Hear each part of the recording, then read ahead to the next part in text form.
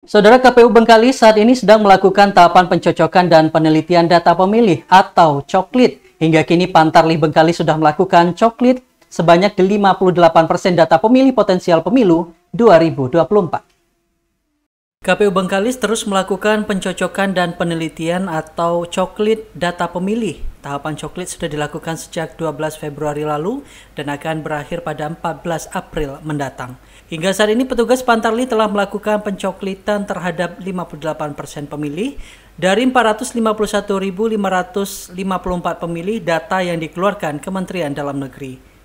Ketua KPU Kabupaten Bengkalis Elmiawati Safarina mengatakan Selain melaksanakan coklit, KPU Bengkalis saat ini juga sedang melakukan proses verifikasi faktual terhadap dukungan bakal calon DPD RI asal Provinsi Riau. Saat ini tahapan kita sedang pertama tentu verifikasi faktual calon DPD.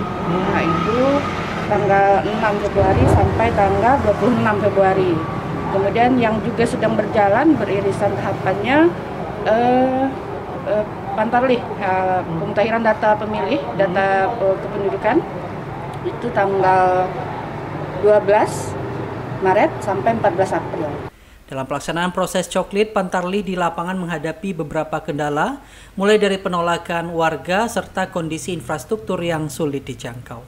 Dari Bengkalis, Dedemoko, Hardi, Ceria TV melaporkan.